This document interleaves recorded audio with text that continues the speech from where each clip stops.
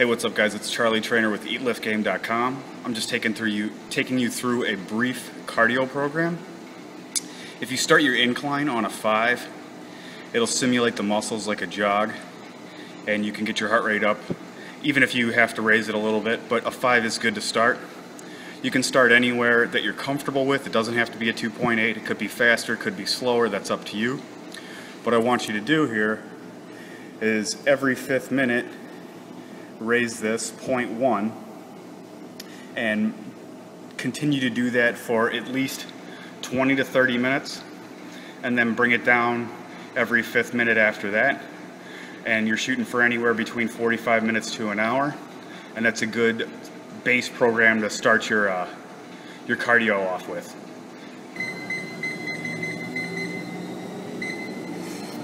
And you're going to want to keep your maximum speed for up to 30 seconds. Once you hit 30 seconds, you're going to bring it right back down. And you're going to bring it down to basically a walk or complete stop. And then you're going to wait another 30 seconds.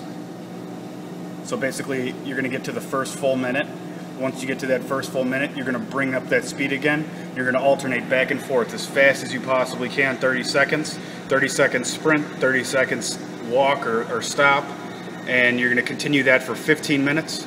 That program should help increase your VO2 max as well as your rested heart rate. It should lower it actually.